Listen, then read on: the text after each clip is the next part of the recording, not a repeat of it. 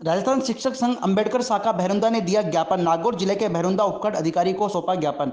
जालोर सुराड़ा में हुई घटना के विरोध में किया निकाला पैदल मार्च। पंचायत समिति में इकट्ठे होकर ज्ञापन दिया गया। वह इंद्र कुमार को न्याय दिलाने की मांग रखी।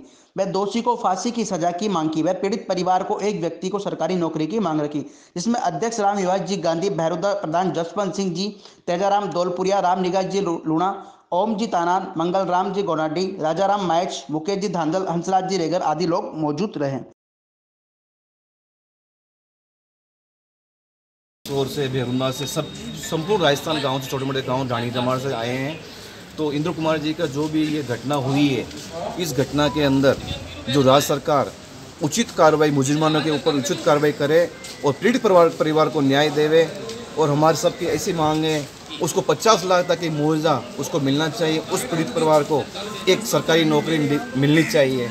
ऐसी घटना ये अनुसूचित जाति के साथ बार बार इस राजस्थान राजस्थान राजस्थान में ऐसा अत्याचार गरीब और दलित के ऊपर अत्याचार क्यों हो रहा है? एक महीना होता है दूसरा महीना होता है तीसरे में और सुनने में आता है।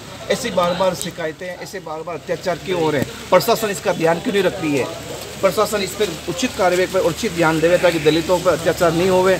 कई ग्रामीणों में कई छोटे मोटे ढाणी दपड़े में ये बार बार देखा जा रहा है। जब थाने दपड़े में रिपोर्ट कर दर्ज